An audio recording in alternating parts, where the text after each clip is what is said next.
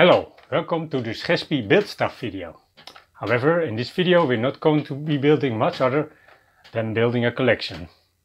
For people who have seen my videos before, will know that I'm a big Atari fan, especially the Atari 8-bit home computers. That resulted in an Atari 8-bit computer collection. And now I've received an Atari 8-bit home computer with which I finally can complete my collection. Let's have a look at this computer.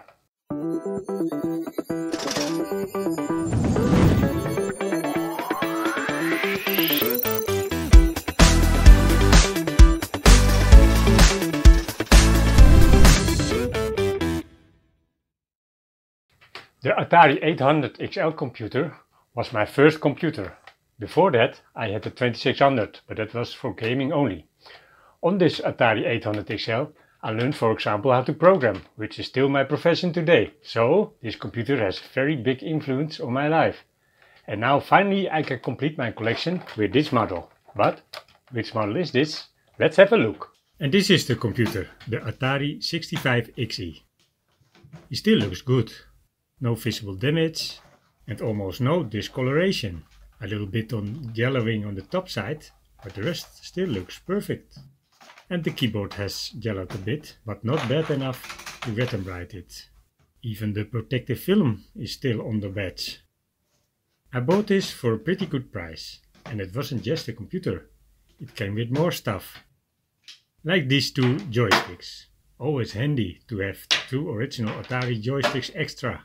And of course a power brick, but I'm not going to use this one. If this brick is failing, it could damage your Atari. There were also a number of games on cartridge included, like this one, Atari Football, Eastern Front 1941, Pole Position on the 2600, this was one of my favorites, Desert Falcon in the XE Game System housing, Joust, a real classic, Pac-Man, speaking of classics, and lastly, Super Breakout. A nice set together. But now let's see if it still functions. I connected it to this monitor. I use a USB phone charger as power supply. You can use any phone charger for this, as long as it supplies at least 2 ampere. You can take a normal USB cable, cut off connector on one side and solder a 5 pin DIN connector to it. Turn it on and ah, he starts up. Let's test the keyboard. That also seems to work well. Now we go to the self-test.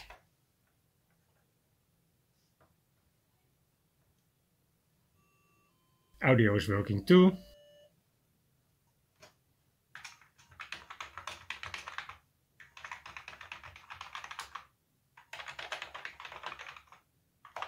And all the keys are functioning.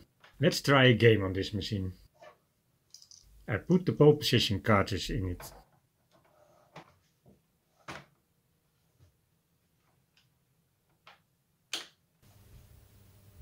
Well, that uh, looks good. The colors are uh, still looking fine. Let's race for a bit.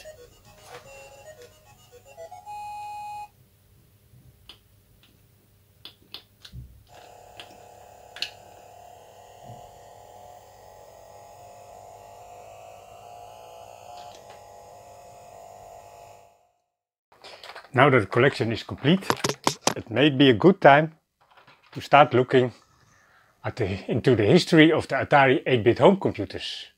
Let's take a look at all the models that Atari released in those days. But first go back to the model that started it all. This is the Atari Video Computer System, VCS for short, and later called the Atari 2600, the name which is now most commonly used. This is where the history of the Atari 8-bit home computers begins. When Atari released the 2600 in 1977, they immediately started working on a successor. It was thought that the 2600 would last three years at most. After that, competitors would probably come up with competing copies of the 2600. That is what Atari already experienced with the home Pong machine they had released before. Therefore, after three years, a successor should be ready to follow up the 2600. But things changed in those three years. Apple had great success with Apple II and Commodore had released the Commodore PET and Tandy the TRS 80 home computers. Games could also be played on those computers. Atari thought this could be the future of home gaming. So it decided to develop two new machines, a game computer and a home computer, both based on the same system. But during development, Atari decided to give the game computer more and more home computer features. For example, the game console got a keyboard and a connection for peripherals. In 1979, Atari introduced the Atari 400 and the Atari 800. The Atari 400 was the cheaper model, with 4 kilobytes and a membrane keyboard, and the Atari 800 was the more expensive model with 8 kilobytes and a real keyboard. But later on the 400 got 16 kilobytes and the 800 got 48 kilobytes. Meanwhile, the 2600 started to become an increasing success. However, the 400 and 800 did not sell that well. They were not the successor that Atari thought they would be. The biggest problem was the price. The computer was too expensive for a game computer. Meanwhile, Commodore released the Commodore 64, which was a lot cheaper than the Atari 800. Atari started developing cheaper versions of the 400 and 800. In 1983, Atari first released the successor of the 800, the Atari 1200 XL. This had, just like the Commodore 64, 64 kilobytes of memory. However, Atari had not quite succeeded in making a cheaper model. The 1200 XL was only slightly cheaper than the 800. And the 800 had also dropped in price in many stores, so sometimes it was even cheaper than the 1200 XL.